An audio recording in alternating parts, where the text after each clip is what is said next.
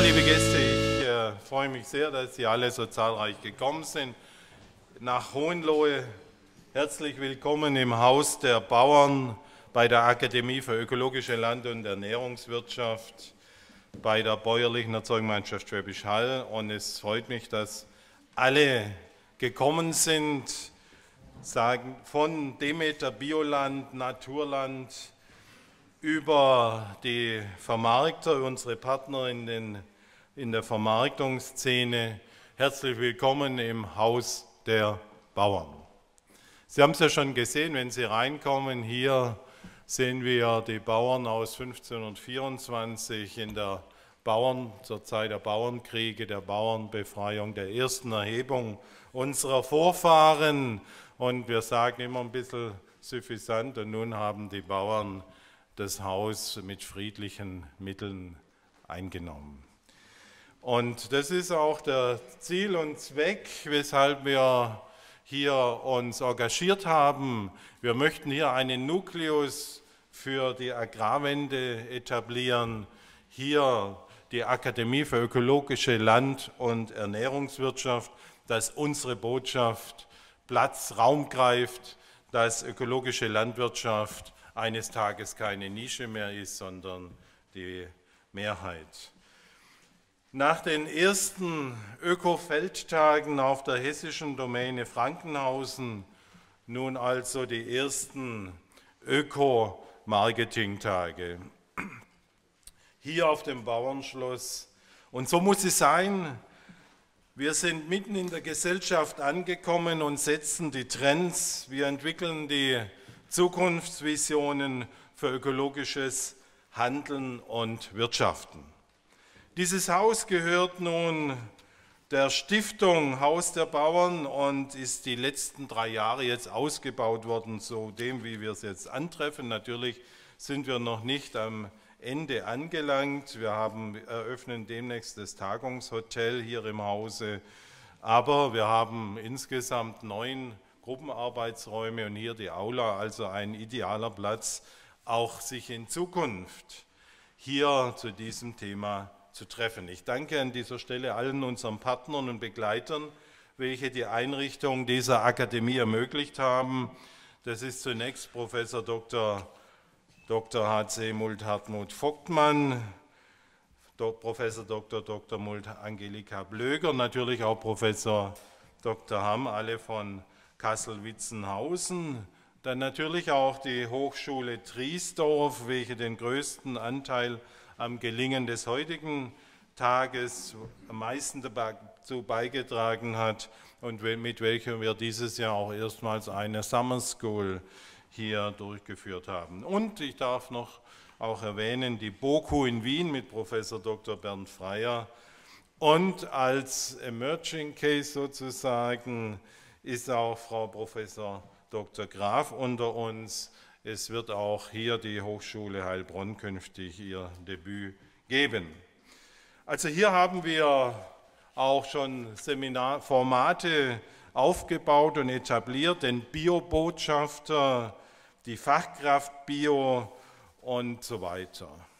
Es ist unser Anspruch, dass wir hier diese Message in die Welt hinaustragen und äh, letztes Jahr hatten wir hier diesen Global Peasants Rights Congress zum dritten World Organic Forum, das hier stattfindet und sozusagen Schmunzeln ist erlaubt als Antwort auf das World Economic Forum aufgebaut wird.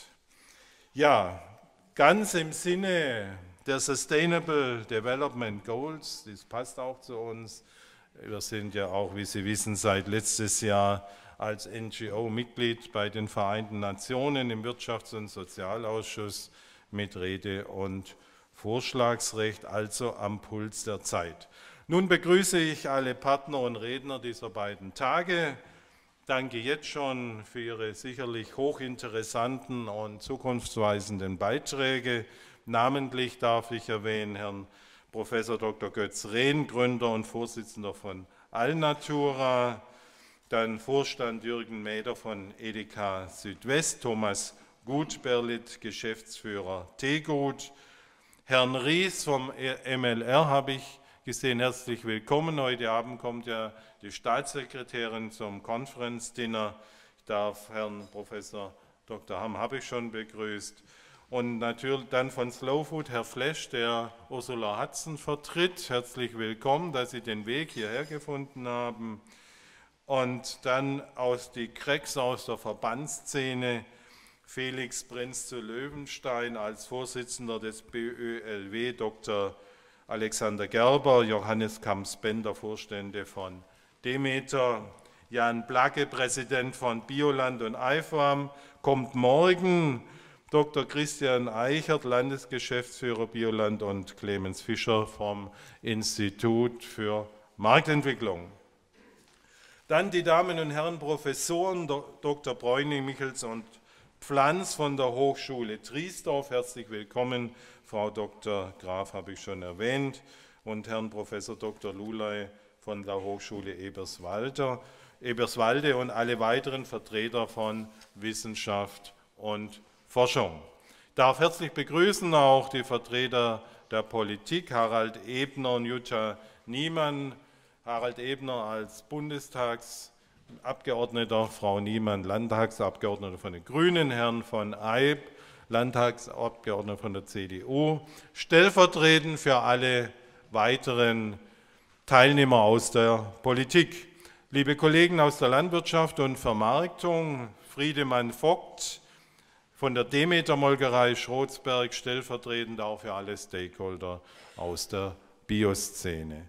Morgen wird ja dann auch noch Frau Annalena Baerbock, die Bundesvorsitzende der Grünen, zu uns stoßen und heute Abend, wie bereits erwähnt, Frau Staatssekretärin Gur Hirsch. Ich begrüße insbesondere auch die Presse, welche sehr profund und zahlreich vertreten ist, insbesondere auch die ARD SWR mit einem Übertragungswagen.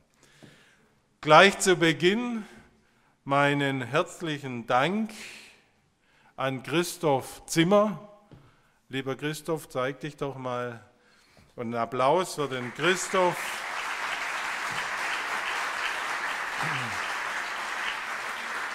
Vielen Dank, lieber an Christoph Zimmer und Team, welche in besonders engagierter Art und Weise diese ersten Öko-Marketing-Tage vorbereitet haben.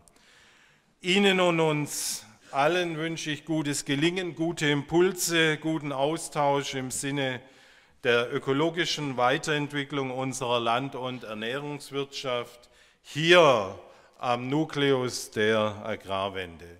Hier mit sind die ersten Öko-Marketing-Tage auf Schloss Kirchberg eröffnet. Herzlichen Dank und ich darf auch gleich an Christoph Zimmer weitergeben der die Gesamtleitung innehat und moderieren wird. Herzlichen Dank.